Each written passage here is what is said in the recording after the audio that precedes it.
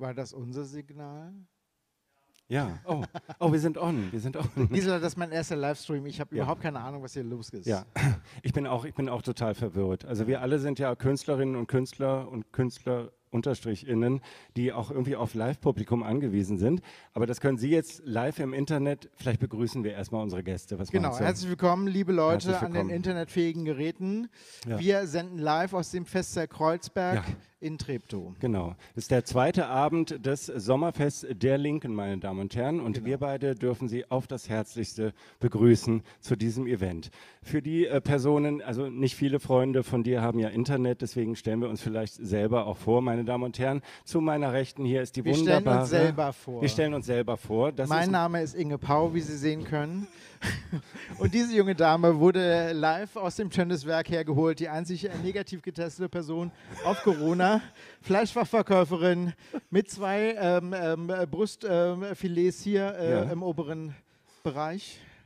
Thorax heißt es. Thorax. Also herzlich willkommen, liebe Leute, live zum Sommerfest der Linken.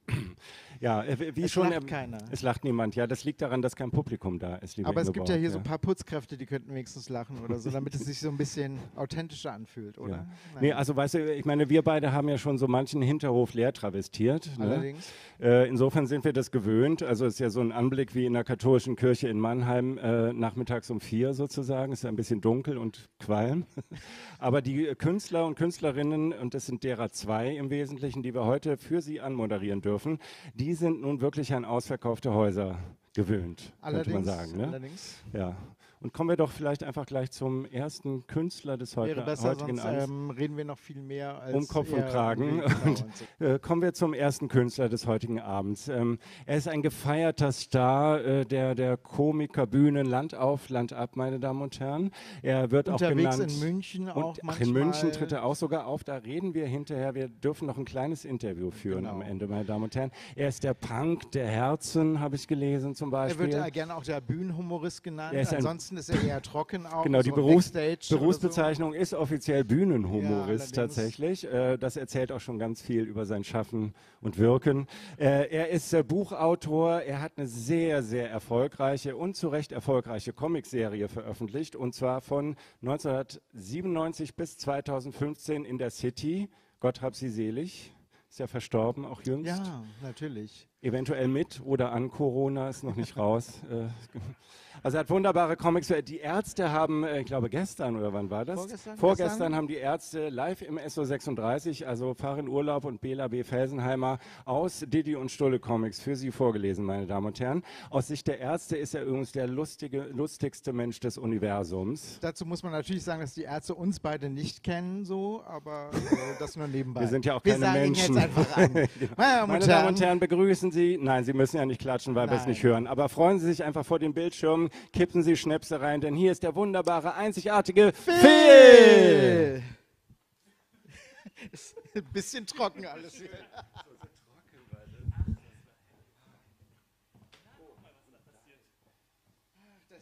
Oh, es hat sich verhakelt. Danke, danke. Meine lieben Freunde, zu Hause eingekuschelt in den Sofakissen. Wir wollen gar nicht so tun, als wäre das live oder als hätte ich Mühe, jetzt mit diesem Streaming, es ist ja ein Streaming, es ist ja kein Podcast, das gibt es ja auch, aber es ist ja ein Stream. Und äh, ein Stream ist ja für Menschen wie mich, aus, die aus den 80er Jahren kommen, ich komme aus der Vergangenheit, ist ja im Grunde genommen, ich erkläre mir das so, dass es einfach ein Film ist, so wie eine Live-Übertragung.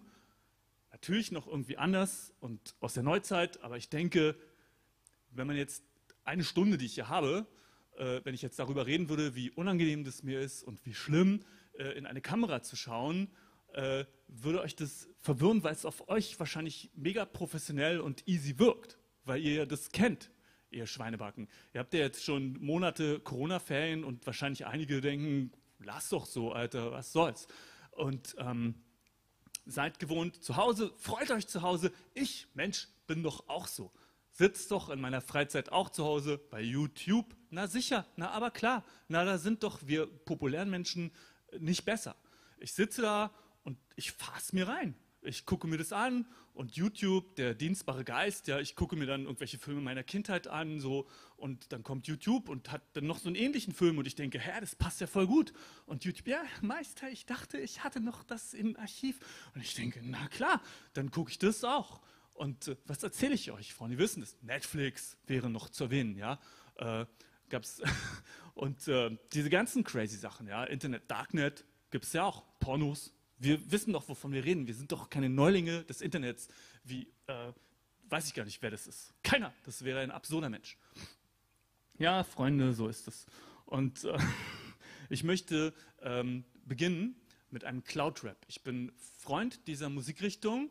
Ähm, ich höre das, also ich höre das jetzt nicht bewusst, aber ich höre das, weil vor meinem Fenster Zehnjährige mit ihren kleinen äh, Teilen da, die sie jetzt haben, diese komischen Bettwürste, die klingen und singen mit dem hohen Bassanteil, da laufen sie umher und dann höre ich diesen Cloud-Rap und äh, ich denke, das ist halt jetzt so. Also genau wie Stream.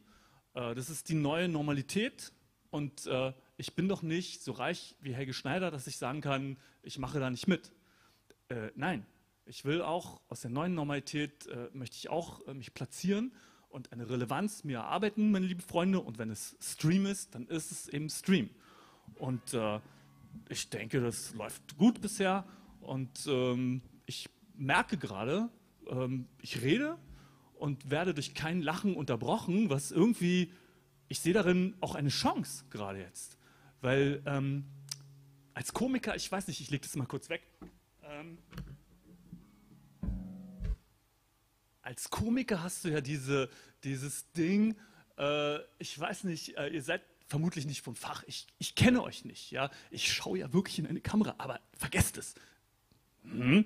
Freunde, da, ihr, die ihr da sitzt und äh, das streamt, ja, oder podcastet oder ähm, weiß ich nicht, twittert, ich habe keine Ahnung, welches Medium ihr verwendet. Darum soll es mal nicht gehen. Seid mal jetzt nicht so medienfixiert, achtet mal auf den Inhalt, auf das, was hier kommt, vom Herzen, Freunde, vom Herzen.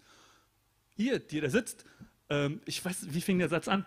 Äh, auf, auf, jeden Fall, was ich sagen will, ist, äh, als Komiker will man ja den Gag. Man, man jagt dem Gag hinterher und man steht auf der Bühne, man arbeitet sehr viel auch, äh, sage ich mal jetzt, hm, das ist jetzt vielleicht, ich will jetzt auch nicht zu viel Tricks verraten, äh, und äh, den Kollegen dadurch schaden, aber man arbeitet auch intuitiv. Also wenn zum Beispiel man sich so einen Gag überlegt hat, ich hatte mir mal den Gag überlegt, äh, mein Opa hat seit 80 äh, Jahren äh, keinen Job mehr, er ist KZ-Mechaniker und darüber hat äh, sehr oft keiner gelacht. Also ich glaube, ich habe das 20 Mal gemacht und 20 Mal haben die Leute nicht gelacht und dann habe ich den Witz nicht mehr gemacht. Das ist dieser verfluchte äh, Instinkt der Komiker, dass du halt der Komik hinterherjagst. Das haben wir heute Abend nicht.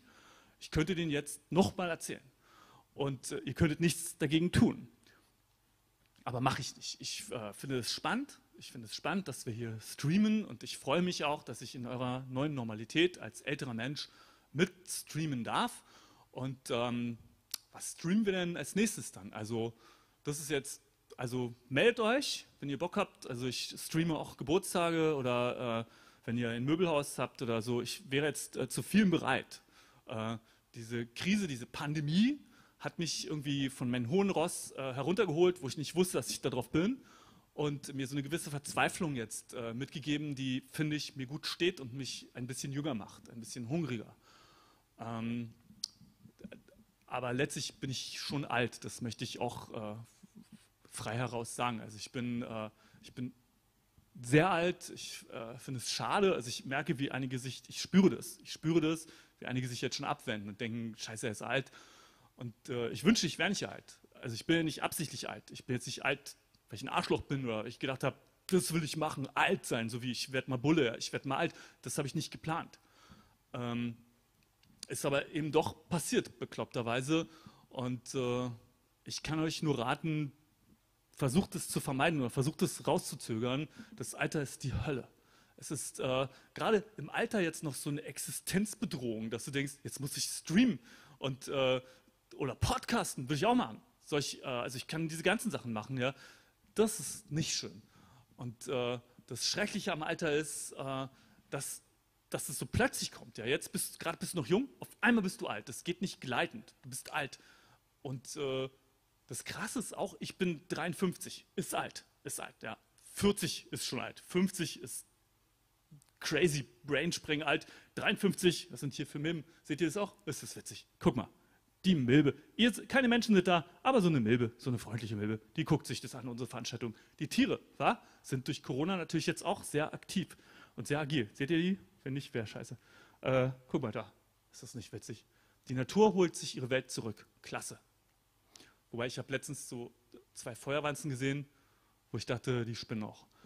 Aber darum soll es jetzt nicht gehen. Was ich sagen möchte, normalerweise wäre das, äh, aber was ich, was ich sagen möchte ist, ich bin 53, ich bin alt, ich weiß gar nicht, wie wir darauf gekommen sind oder warum ich das erzähle. Äh, es soll keine Entschuldigung sein oder keine Begründung von irgendwas. Ja? Aber 53 ist zwar alt, aber du kannst ja durch das Wunder der Medizin und wenn es keine zweite Welle oder grüne Wolke oder sonst was gibt, kannst du ja original noch 40 Jahre leben. Das heißt, ich bin alt, mein Leben ist vorbei, aber ich bin irgendwie immer noch da. So ist das Alter. Ja. Du bist äh, selbst im Alter, ist wie der Roman ist zu Ende und du liest noch das 200 Seiten lange Nachwort des Verfassers zur dritten Auflage. So ist mein Leben. Es ist irgendwie äh, nicht geil. Und, und das Schlimme, das Schreckliche, das wisst ihr Kids nicht, ihr Streamer. Oh, ihr Streamer. Seid ihr, warum seid ihr keine Dreamer? Wir waren Dreamer, ihr seid Streamer. Ihr seid die weichere Generation, aber ihr habt die Jugend. Ihr Schweine, ihr Schweine. Die Jugend ist verschwendet an die Jugend. Ihr wisst ja nicht, wie Altern ist. Das Schlimme ist, du siehst ja schon gar nicht alt aus. So fängt es schon an. Du siehst scheiße aus. Das ist es. Du, du siehst irgendwie, meine großen Helden aus meiner Vergangenheit, Arnold Schwarzenegger, Sylvester Stallone, sind 70, sehen nicht wie 70 aus. Sie sehen allerdings scheiße aus. Das passierte. Du siehst irgendwie übernächtigt aus. So fängt das Alter an. Du siehst irgendwie müde. Du siehst müde aus. Die Wülste hängen irgendwie so und gehen nicht mehr hoch an den Knochen zurück. Also irgendwie, ich weiß gar nicht, wie das vorher ging, aber die Wülste denken, Fleischwülste, lass mal hier, hier ist doch geil. Und so die Leute, deine Freunde fragen, hey, langweilen wir dich, bist du müde? Nein, mir geht's hervorragend. Wo wollen wir jetzt noch hingehen? Du siehst unkonzentriert aus. Das ist das Schreck, der Schreck. Sie kommen irgendwie hier, sie, sie waren anscheinend nie weg. Sie haben sich einfach äh, in die falsche Richtung rein ins Gehirn gefräst und sind dann, das erklärt auch einige Aussetzer, dass ich irgendwann dachte, Techno ist doch gar nicht so schlecht. Und jetzt sind sie alle hier auf ekelhafteste Art im Nacken, sonst, wo, wo du überall Haare haben kannst. Ja. Ich rasiere sie jeden Tag weg, am nächsten Tag sind sie sofort wieder da. Diese kranken, unheiligen Nackenhaare sind stärker als richtige Haare. Genauso habe ich jetzt diese, das ist auch so ein Altersding, du kriegst diese, diese Madonna-Hände, wo ich immer dachte, hoffentlich kriege ich das nie, wo so Adern sind, ja, fand ich als junger Mensch eklig. Jetzt finde ich es ganz gut. Ich meine, diese Adern sind ja wichtig, die durchbluten die Hand. Ist doch okay, wenn man das mal sieht. Ich finde, es ist wie so eine affektierte Uhr, wo du das Uhrwerk siehst, denkst, ach siehst du, das ist alles funktioniert. Diese Adern kriegen jetzt noch kleinere Adern, durchblutet die Hand noch besser. Ich bin mega durchblutet, aber niemand will diese Vitalität. Und äh, dabei, wie ich glaube ich eingangs schon erwähnte, mache ich eigentlich auch nichts anderes als junge Menschen. Ich spiele zum Beispiel jetzt gleich einen Cloud Rap, also gleich ist relativ, aber ich werde ihn ja spielen. Ähm, ich sehe das, diese, diese Rapper, ich rappe schon sehr lange übrigens auch, also länger als diese jungen Characters von heute. Und ich finde den modernen Rap, äh, muss ich sagen, gefällt mir nicht so gut offen gestanden weil es ist irgendwie alles dieser doofe Gangster-Rap. Ich gucke mir das natürlich bei YouTube an. Wir Alten sind genauso up-to-date. Finde ich nicht so toll. Also ich finde, also ich finde schade, dass der Rap in Deutschland sich so weit von seinen schwäbischen Wurzeln entfernt hat. Früher Fanta 4, es ist die da, die da, die da oder die da. Das war noch lebensbejahende, fröhliche Musik. Da wurde, Mensch, da wurde noch eine richtige Story erzählt mit einem witzigen Twist am Ende. Ich will nicht zu viel verraten, aber fahrt euch mal das Video rein bei YouTube oder weiß ich nicht wo. Auf jeden Fall, das ist nicht mehr so. Ja? Jetzt äh, beim Rap sind halt meistens sind es Herren, die so bärtige, grusige und das finde ich, das möchte ich auch mal sagen in dieser modernen Zeit. Ja? Ich komme aus der Vergangenheit, Aber viele Sachen, wo ihr denkt, dass ihr es erfunden habt heutzutage, hatten wir in den 80ern auch schon. Zum Beispiel hatten wir in den 80ern auch schon Bärtige. Bärtige sind jetzt keine Erfindung von jetzt. Ich möchte den Bärtigen, falls Sie jetzt zuschauen, mal zurufen, beruhigt euch endlich über eure fucking Bärte. Bärte sind überhaupt keine neue Erfindung von euch. Das ist, warum muss das eine Jugendbewegung sein? Bärtige, wir hatten in den 80ern Bärtige, aber da sind wir nicht gleich durchgedreht, da haben wir nicht so ein Bohai drum gemacht, wenn ein Bärtiger kam, dann fingen wir nicht an rumzutänzeln, oh Gott, ein Bärtiger, jetzt wird hier alles teurer. Wir sind ruhig geblieben, wir haben nicht äh, gleich, ein Bärtiger, was können wir tun? Etwas Süßes für den Bärtigen, lass ihn mal Cranberry, Pumpkin Slices, äh, sonst wie Hausen, Muffins, äh, was können wir ihm für komplexe Kaffeekreationen kredenzen? Lass ihm was Cold Brewen, wir müssen ihm was Pale Alen, lass ihm was Handcraften, das mag er, der Bärtige. Nein, wir haben ihm eine Prinzenrolle hingestellt und das war gut genug für den Bärtigen. Es war eine einfachere Zeit. Und so finde ich auch, diese doofen Gangster-Rapper können sich vielleicht auch mal beruhigen über ihren eigenen Gangster-Rap. Ich finde, sie verbreiten irgendwie eine negative Grundstimmung, wenn sie da so rumrappen. Also ich beobachte, dass es halt hauptsächlich Männer sind, wo aber eigentlich nur einer rappt und die anderen stehen so dabei, wo ich denke, bezahlt er sie? Würde ich nicht machen. Also wofür? Sind irgendwie, drängen sie so mit rein und äh, der eine in der Mitte rappt dann so, auch eher negativ, aber so, so ja, dann habe ich das noch gemacht und dann war ich noch da gewesen, dann habe ich noch das gemacht, dann bin ich noch da gewesen und ich gucke das und denke, das mag ja sein aber man muss ja nun auch nicht alles erzählen, was man so erlebt. Ja? Und die anderen stehen so und wenn er mal eine Pause macht, dann macht einer von der Seite so, wo ich denke, was ist das? Übersetzt er es in Taubstrummensprache? Ich finde es hinterfragbar und ich finde, beim Cloudrap wird vieles falsch gemacht. Ich habe einen Cloudrap geschrieben, der das so ein bisschen versucht zu korrigieren, was die jungen Leute in ihrer Negativität falsch machen. Und hier kommt er schon, Freunde.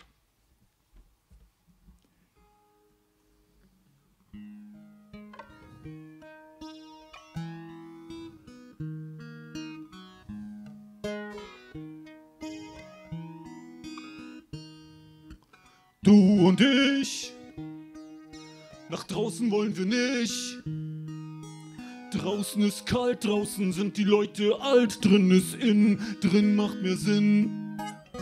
Baby, lass uns mal zu Hause bleiben, lass uns vom Nachmittag in den Abend treiben, lass uns heute mal nicht Geschichte schreiben, zu Hause bleiben, uns aneinander reiben, unsere Körper sind warm und wir sind nicht arm. Baby, lass uns was zusammen bestellen. Baby, lass uns zusammen was bestellen.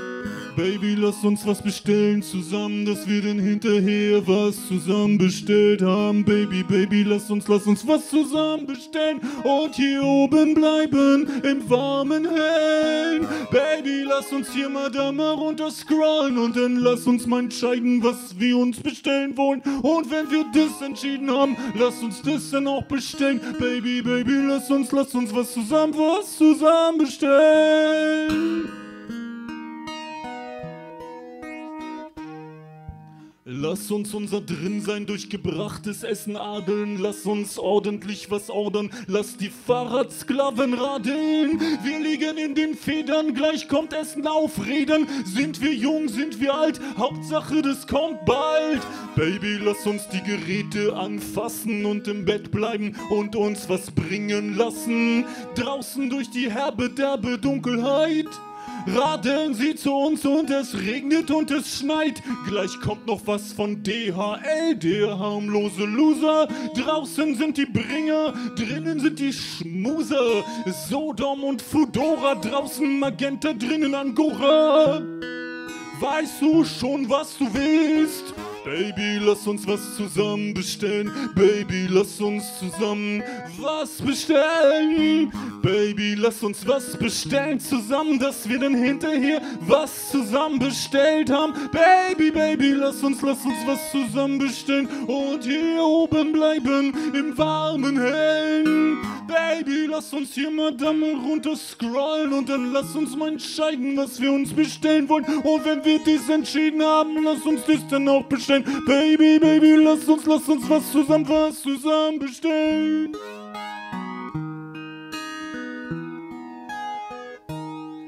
Es gibt uns, es gibt die, das vertauscht sich eigentlich nie. Hier entsteht eine neue kommen lassen Aristokratie. Und wenn wir nichts bestellen würden, wird's jemand anders tun. Und wenn keiner was bestellt, würde die Wirtschaft ruhen. Früher hat der Bauer sein Feld bestellt, aber wir leben in einer veränderten Welt. Wir leben im Schlallieferando-Laffenland, schaffen Aufsprung durch das Aufschwung durch das zen-mäßige Klick in einer Hand. Es klingelt, er ist hier. Wir öffnen die Tür. Kalt weht es herein. Draußen steht das arme Schwein. Für ihn muss hier in Deutschland ja gefühlt noch kälter sein. Wenigstens fallen beim Radfahren keine Bomben auf ihn und demnächst studiert er dann ja Medizin. Dann können wir ihn ja nochmal als Notarzt bestellen, wegen messenden, eitrigen Wundliegestellen. So schließt sich der Kreis. Scheiße, wo ist der Reis? Oh nee, der Hirni hat den Reis vergessen. Wie sollen wir denn ohne Reis das essen? Fuck. Negativ bewährt. Meine lieben Freunde, ihr müsst nicht klatschen, ihr seid zu Hause bei euch. Aber äh, vergesst das nie, vergesst das nie. Vergesst das nicht, wo ihr seid, wer ihr seid. Ja? Werdet nicht bescheuert, bloß wegen einem Virus. Ich, äh, ich möchte, ich wollte eigentlich keine, also ist ja eine ernste Geschichte und so. Und ich, ähm, ich habe das jetzt gar nicht so mitgekriegt mit dem Corona, weil ich äh, die ganze Zeit im Ausland war, wo es zwar auch war, aber wo ich dachte, ich weiß ja nicht, wie das sonst hier ist. Und äh, ich hatte dann spontan die Initiative gegründet, Berliner gegen Corona, weil ich erst nicht eingesehen habe, dass jetzt wegen den Einschränkungen, weil ich hab, man hatte auch Pläne. Und ähm, dann habe ich aber gedacht, ach, weiß ich nicht, da sind so viele Spinner. Und ich bin jetzt kein Corona-Leugner. Ich bin aber auch kein Fan. Ich bin irgendwie, also wenn wir auf der einen Seite haben wir meinetwegen den, den schwarzen Tod, die spanische Grippe und jetzt haben wir hier, weiß ich, vielleicht du kriegst einen geblasen oder irgendwie sowas, dann würde ich sagen, Corona ist jetzt nicht hier, aber es ist auch nicht hier. So sehe ich das, Freunde. Das lernst du im Alter. Den grauen Mittelweg. Den grauen Mittelweg, Freunde. Und ich finde, er wird oft nicht beachtet, der graue Mittelweg.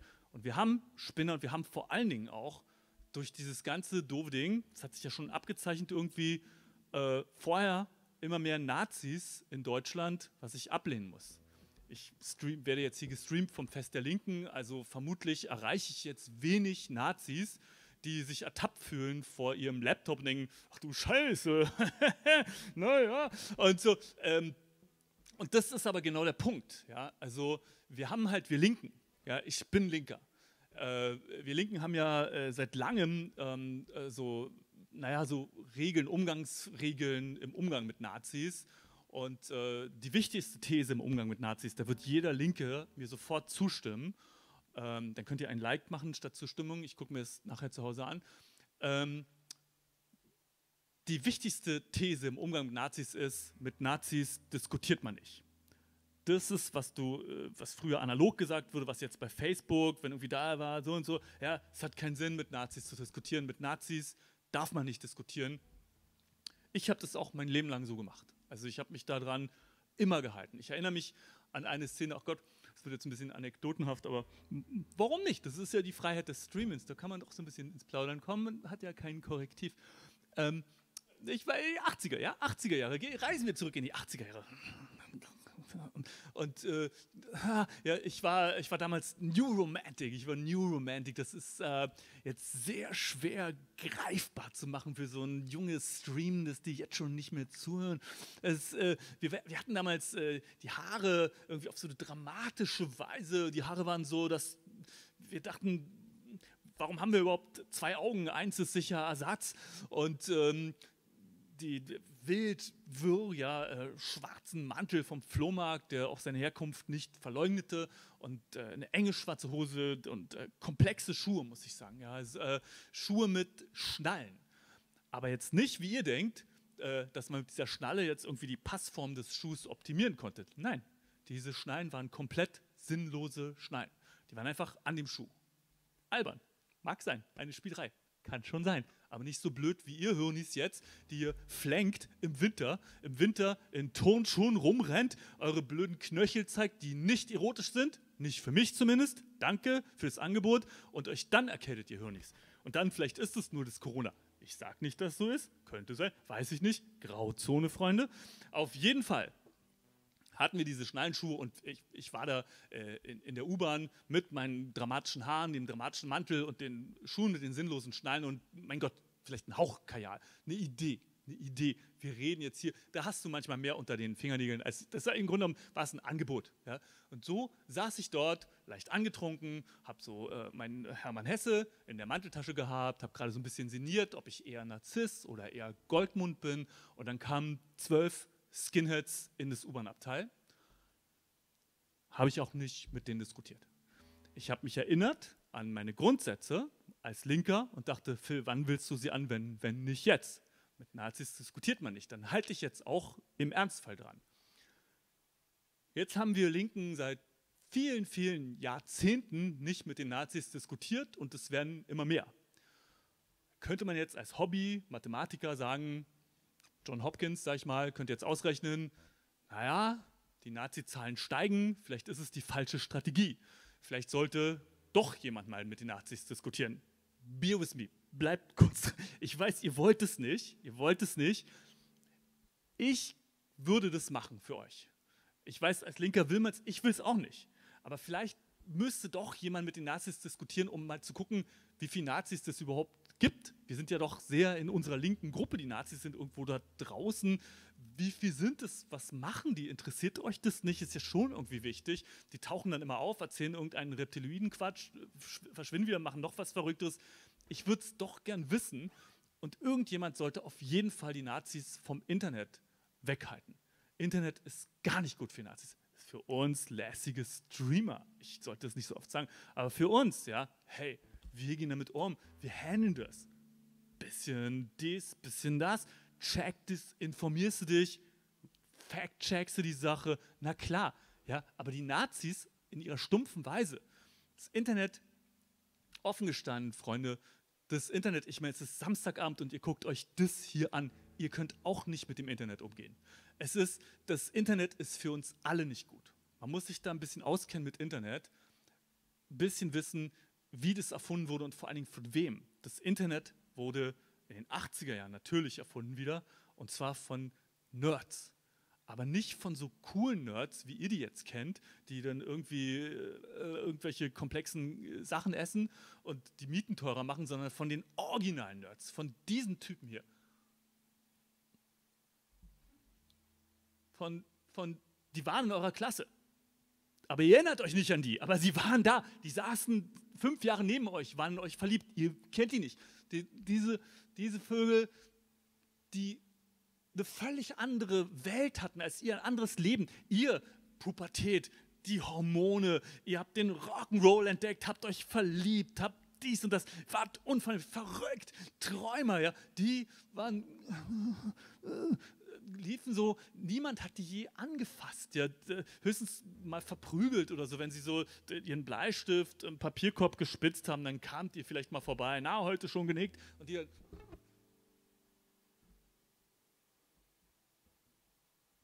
Diese Typen haben das Internet erfunden, aber nicht für euch. Die hassen euch.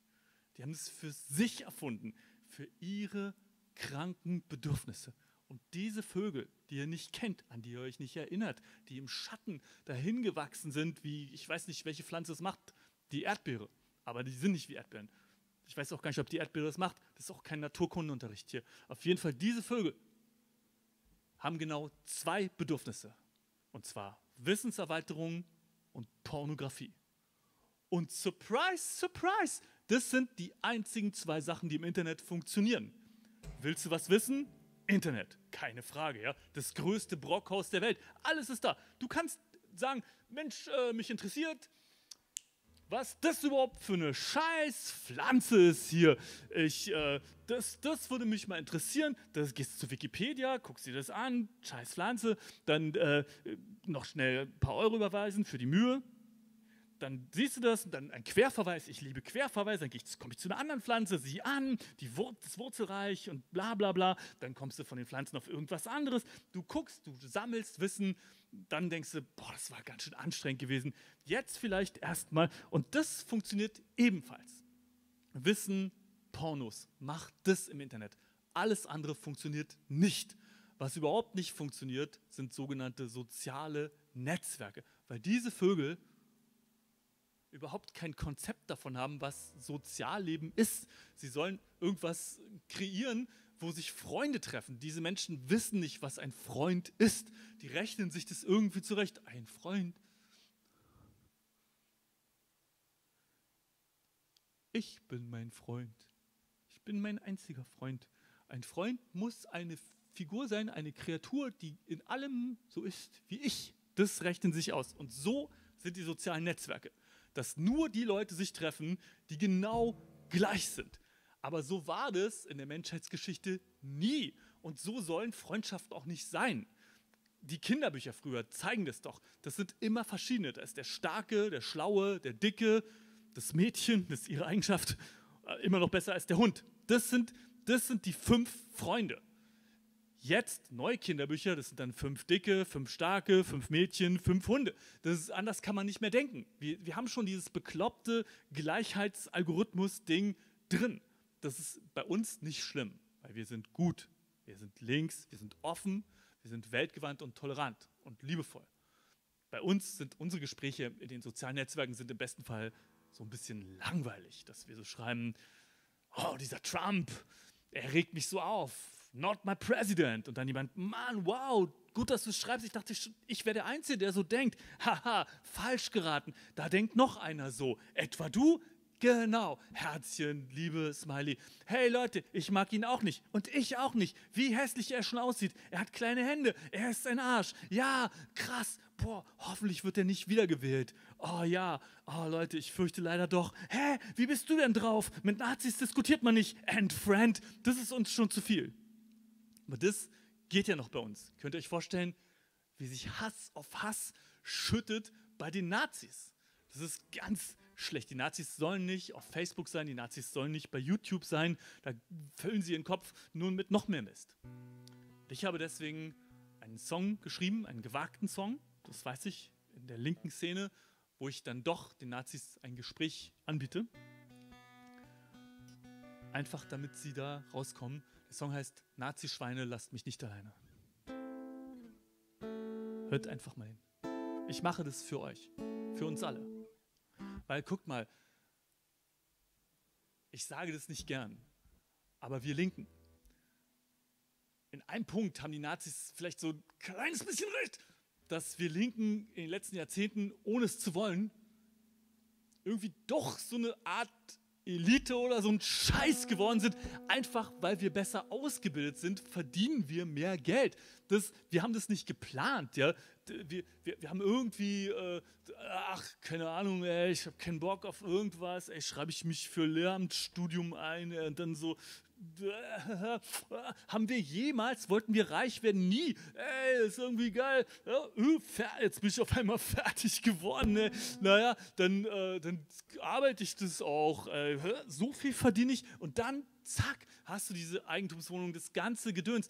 Aber das ist ja nicht unsere Schuld bloß weil die Nazis zu blöd sind und dann da irgendwie so am Imbiss stehen, der zeigt schon 75 Lottoscheine ausgefüllt und immer noch nicht gewonnen. Scheiß Ausländer, weil sie einfach zu blöd sind.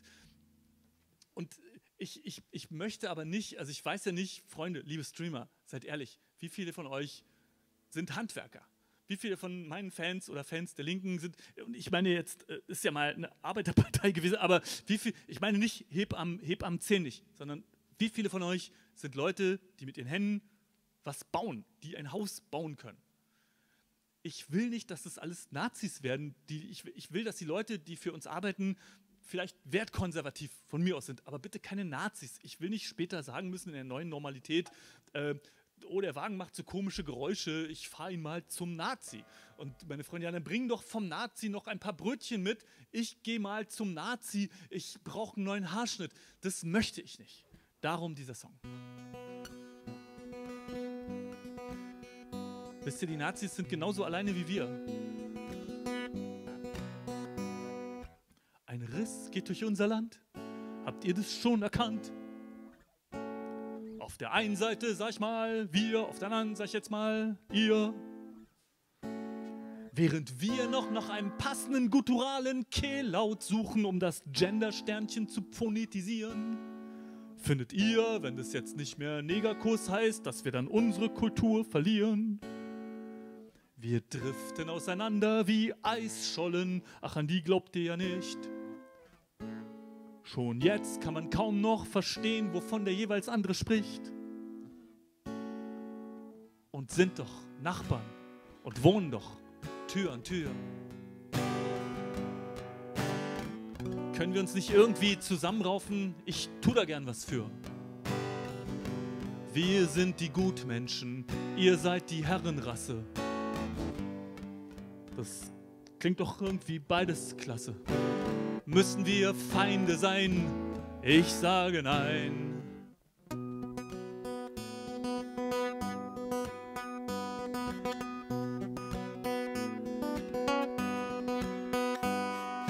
Nazi-Schweine, lasst mich nicht alleine in dieser komplexen Welt. Ich brauch doch jetzt nicht nur Freunde mit Abitur, mit Bildung, Toleranz und Geld. Ich brauch auch ein paar echte, rechte, bezechte Knechte voller Neid und Hass, total breit und krass. So exemplarische, arische, subproletarische, unverstellte, geprellte, von oben bös gechemtrailte, frierende, verlierende, durch Kleinstädte marschierende, vor sich hin stierende. Lallende vom Baugerüst fallende, mit Polenböllern knallende. Fluchende Gerechtigkeit suchende, ja Fleisch essende, von denen da oben vergessene, vom Leben hart gefickte, komplett ausgetickte, ähm, hochgradig frustrierte, Gesichtstätowierte und ist ja praktisch jeder vierte.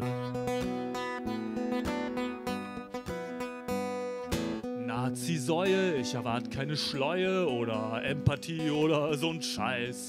Wenn ich Bock auf diese Eigenschaften hab, die habe ich ja schon in meinem eigenen Freundeskreis. Wisst ihr, alle meine Freunde sind gut. Alle haben Mut. Alle haben Recht. Keiner ist schlecht. Keiner ist fies. Keiner ist mies. Keiner ist gemein und keiner denkt klein. Wir tolerieren keine Intoleranz. Wir bestätigen uns gegenseitig voll und ganz. Bei uns läuft eigentlich alles wie am Schnürchen. Das wird nur langsam so ein bisschen ein Monokultürchen. Wenn jeder gut ist, ist gut normal, denn ist keiner mehr gut und das wäre fatal. Um gute Musik zu schätzen, brauchst du auch manchmal Dieter Bohlen und so eine Art Kontrast würde ich mir gerne von euch holen, wenn es in Ordnung ist. Nazi-Säcke, wenn ich das richtig checke, plant ihr gerade, die Regierung zu übernehmen. Wie wollt ihr denn das machen, wenn ich mal fragen darf? Mit Internet? Mit Internet, habe ich mir gedacht. Seht ihr, da sehe ich bei euch ein Problem. Internet ist nicht gut für euch, macht euch zu aggressiv, bleibt mal lieber analog, da geht nicht so viel schief. Ihr könnt die ganzen News doch gar nicht unterscheiden und am Ende, da werdet ihr ja selber leiden. Ihr füllt eure Herzen mit lauter Mist. Wusstet ihr eigentlich, dass online ein Anagramm für lonely ist? Wisst ihr, was ein Anagramm Sorry. Hasserfüllt schimpft ihr über Greta und Migranten. Geht mal lieber in die Kneipe und trefft euch mit guten Bekannten. Seid ihr immer noch bei Facebook? Das kann doch nicht sein. Habt ihr diese Phase noch nicht überwunden?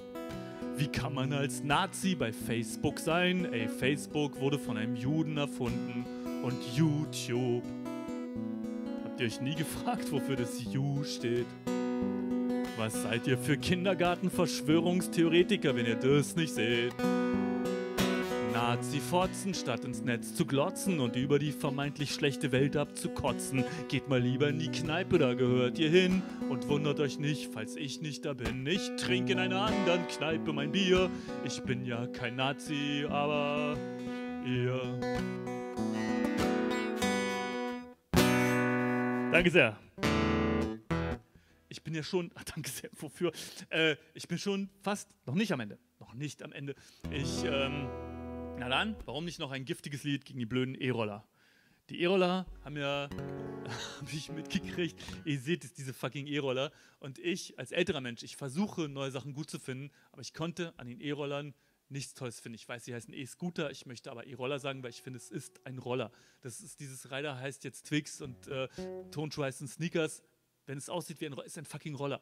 Und ich finde die E-Roller nicht fair den Kindern gegenüber, weil die Kinder die mit ihren originalen Rollern jetzt ehrlich rollern, was viel, viel, viel streetmäßiger ist, wirken jetzt wie Behinderte, wie Idioten, die das so nachspielen, so, äh, äh, und man denkt, geh doch, macht's doch zu Hause, spiel doch zu Hause, als würden sie so, tatü, tata, hier kommt die Feuerwehr. Dabei ist das das echte Rollern. Und das, dieses bescheuerte Rollern, was natürlich die Bärtigen sofort aufgegriffen haben am ersten Tag des E-Rollers, sofort die Bärtigen mit den Dingern, als wäre es nie anders gewesen, so, you complete me. Wohin, Meister? Diese Fa Jedenfalls habe ich einen kritischen Song über diese E-Roller Craze geschrieben. Ich weiß nicht, ich hoffe, in der neuen Normalität gibt es die E-Roller nicht. Ich vermute aber, wenn es sie nicht mehr gibt, dann werden sie durch was noch Schlechteres ersetzt. Der E-Bart oder so. Irgendwas. Ich will mal dieses noch sagen, ja. E-Roller, E-Book, E, äh, sonst was. Alle Sachen, die ohne E funktionieren. Wenn wir das jetzt mit E machen, so schaffen wir natürlich keine gute neue klimaneutrale Zukunft, Freunde. Ich werde es nicht mehr erleben, um Frau Merkel zu zitieren. Aber, aber das nervt mich irgendwie auch. Ähm, egal. Hier, Freunde. E-Roller. Die Leute sagen, du seist die Ebola der Industrienationen. Die Leute springen vor Frust über dich von ihren Balkonen. Die Leute sagen nein, die Leute reichen klagen ein. Die Leute sagen nee, die Leute werfen dich in die Spree. E-Roller. Gefühlt hast du das Abendland in der Hand. Die Welt wird nie mehr so sein, wie sie war. Aber ist es auch, denn du bist nun da. Aber, jetzt kommt es, ist es auch wirklich wahr? Es gibt dich in Grün und in Rot. Die Grünen sind zum Fahren, die Roten sind zum Stehen. Aber irgendwie sieht man ja in letzter Zeit auch ganz schön viel Grüne rumstehen. E-Roller, bist du am Ende nur ein flüchtiges Phänomen? Grad warst du noch die neue heiße Scheiße und jetzt bist du schon nicht mehr neu und jetzt bist du nicht mehr heiß wirst du vergehen, um dann wieder aufzuerstehen, als E-Rollator für mich als Greis. E-Roller, du bist der Bubble Tea der Straße, du bist das Moorhuhn, du bist der Twist, du bist das Tamagotchi, nie weißt du, was du bist. Du bist die Marmor-Wash-Jeans aus der Vorwendezeit. Irgendwann gibt's dich nicht mehr und dann tut's allen leid. Du bist ja jetzt schon gefühlte Vergangenheit. Ein Relikt aus der guten alten E-Roller-Zeit. E-Roller. Bist das Arschgeweih der Innenstadt. Du bist die Eisbucket Challenge. Siehst du, muss ich noch machen. Du bist ein Superfood. Man kriegt dich schnell satt. Du bist der Mittelstrahlurin. Das verstehen jetzt nur Leute aus meiner Generation. Du bist der Mittelstrahlurin. Seid froh, wenn ihr nicht dazu gehört. Du bist der Mittelstrahl. Es war nicht alles gut. Du bist der Mittelstrahl. Vor Dingen Mittelstrahlurin wann kommt der, ja? Wie willst du das abschätzen? Jeder kennt sich doch nicht so gut. Ist das jetzt die Mitte? Ich will es nicht falsch machen, dann wirkt sich. Du bist der Mittelstrahl. Wir wollen es nicht zu lange machen. Du bist der Mittelstrahlurin, den man nur zwei Wochen trinkt, weil sich rauskristallisiert, dass es doch nicht so viel bringt. E-Roller. Du bist das Monchichi, du bist die Diddlemaus. Gegen dich sieht ein Segway männlich aus. Du hieltest dich für einen Gewinner, aber du warst nur ein Fidget Spinner. E-Roller, du bist doof. Du verwandelst meinen schönen Bürgersteig in einen E-Roller-Friedhof. Du fahrbare Espresso-Kapsel, wer dich nimmt, fühlt sich schlecht und zurecht.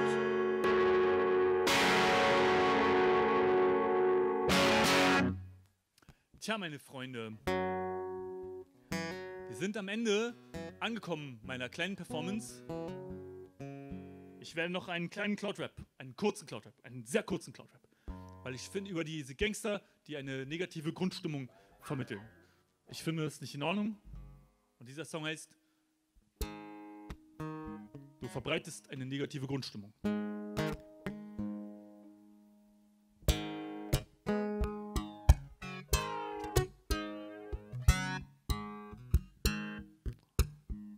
Für alle Gangster-Rapper da draußen, die eine negative Grundstimmung verbreiten.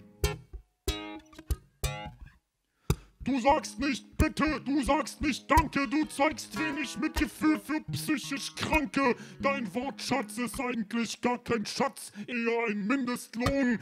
Du, wenn mal du anfängst mit einem Satz, ahnt man die Pointe schon. Dein Humor ist zynisch, ich kann nicht drüber lachen. Du zeigst wenig Mitgefühl mit Schwachen und du verbreitest eine negative Grundstimmung. Wenn du breitbeinig schreitest, negative Grundstimmung. Wenn du mit anderen streitest, negative Grundstimmung. Deinen Horizont nicht erweiterst, negative Grundstimmung. Wenn du deine Freundin nicht zum Frauenarzt begleitest und auf überkommenen paternalistischen Prinzipien reitest, dann verbreitest du eine negative Grundstimmung.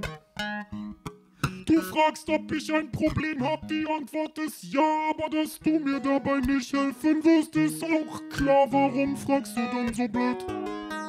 Du kannst nicht verhehlen, dass du Pornografie konsumierst. Pass mal auf, dass du da nicht den Respekt vor Frauen verlierst.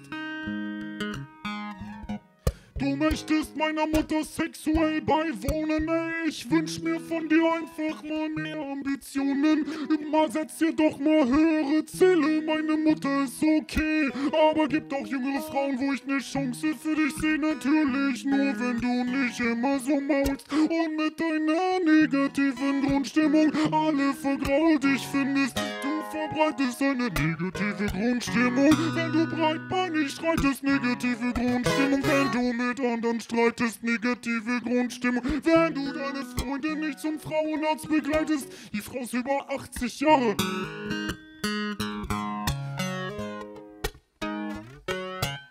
Deine Musik ist nicht gut für Pflanzen und so richtig ausgelassen kann man auch nicht dazu tanzen.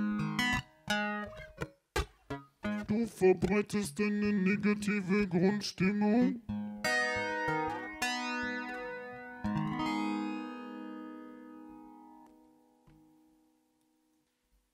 Meine lieben Freunde, ein jeder Stream muss auch ein Ende haben. Ein jeder Stream nähert sich sein Ende. Nähert sich sein Ende. Wir sind noch nicht an dem Ende. Äh, warum reden wir dann über das Ende? Ja? Also äh, ich habe viel über das Ende nachgedacht, durch auch Corona, weil ich denke, der scheiß Tod, der Tod und ähm, ich auch dann diese Risikogruppe nicht bin, aber sein könnte und äh, sterben, oder? Aber, aber so ist es halt. Also es ist jetzt eigentlich nichts Neues. Und äh, ich finde es auch so ein bisschen erbärmlich, wie er am Leben klebt. Das wollte ich euch noch sagen, ihr Feiglinge. Was soll denn, was ist denn an eurem Leben so geil? Dann, also, beziehungsweise, let me rephrase. Ähm, ist es nicht so, müssen wir nicht alle sterben? Also ich freue mich auf den Tod, das ist mal was anderes. Und ähm,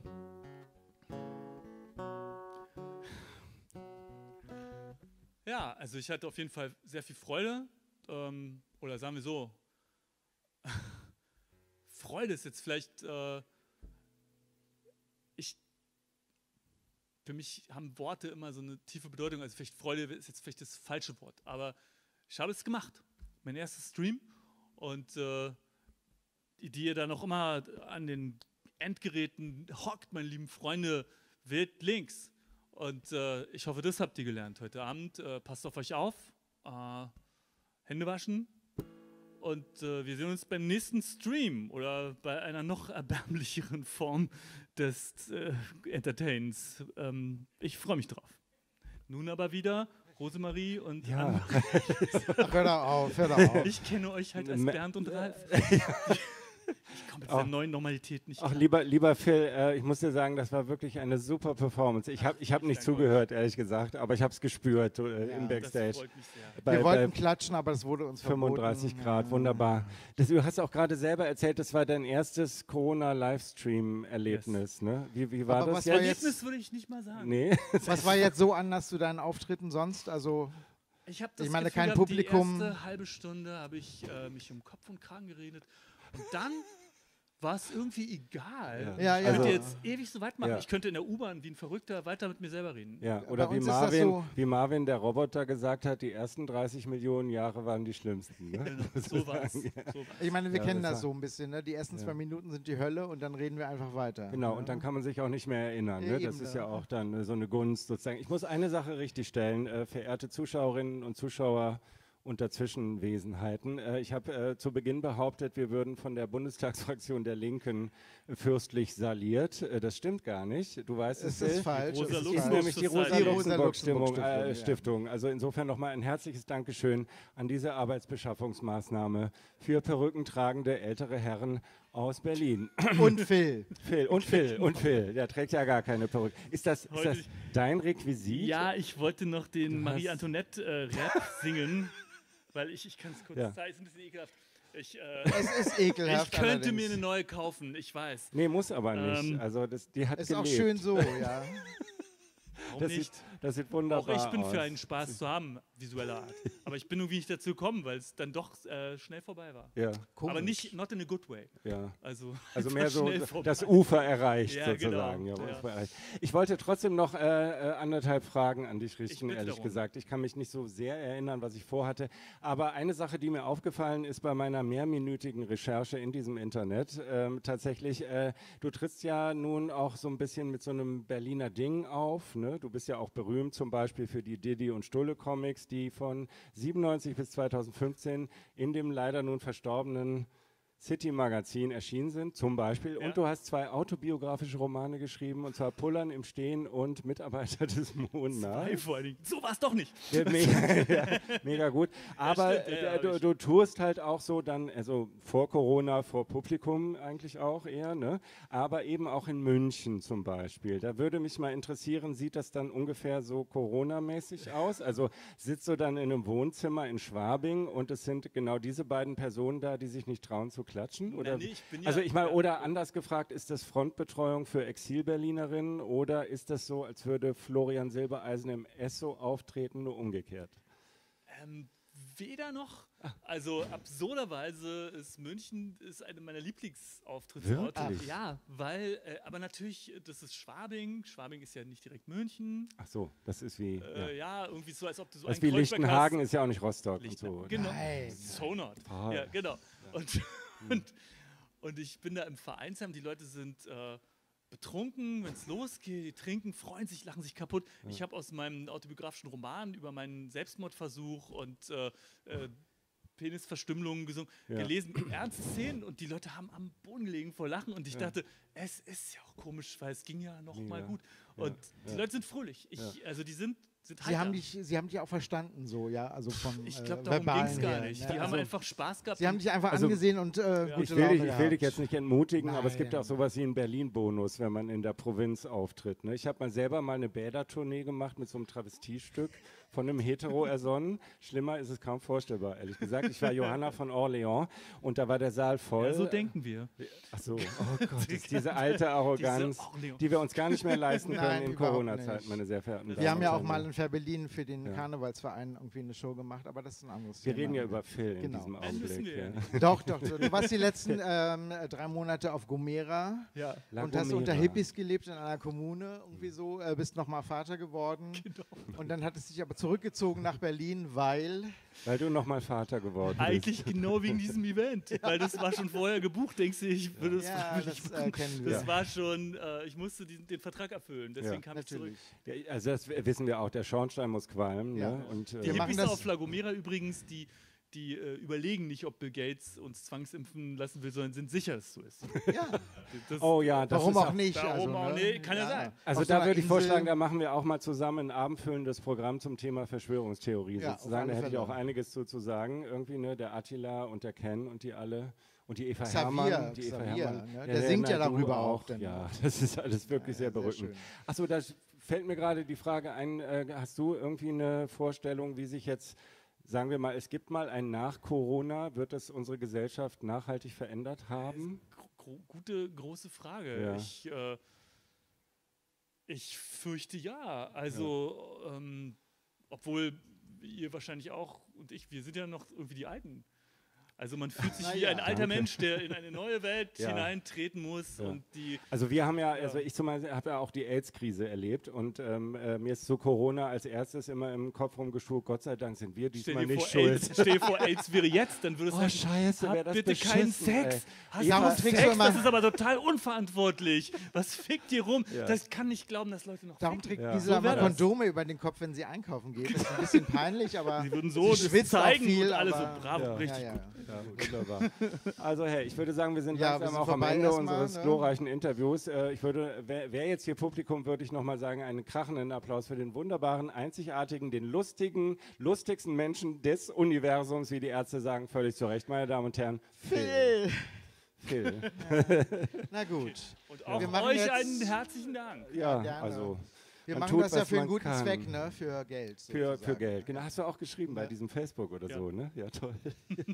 Nun gut. Und da gibt steht in der Presse, du hättest äh, Internetabstinenz. Das stimmt gar nicht. Du bist bei Facebook. Der du postet hast, ständig, du was ich sehe, das jedes Mal. Ich und bin immer im kommt. Internet, ich bin total besessen. Ja, man merkt es. Wunderbar. Ihr Lieben, Phil. Wir machen einen kurzen Cut So. oder jetzt in der Livestream. Äh, ja, wir machen einfach weiter. Welt. Wir machen einfach weiter. wir machen weiter also, schon. Geh jetzt weg, geh weg, genau. Dann gibt es einen Knall, wenn. Ja.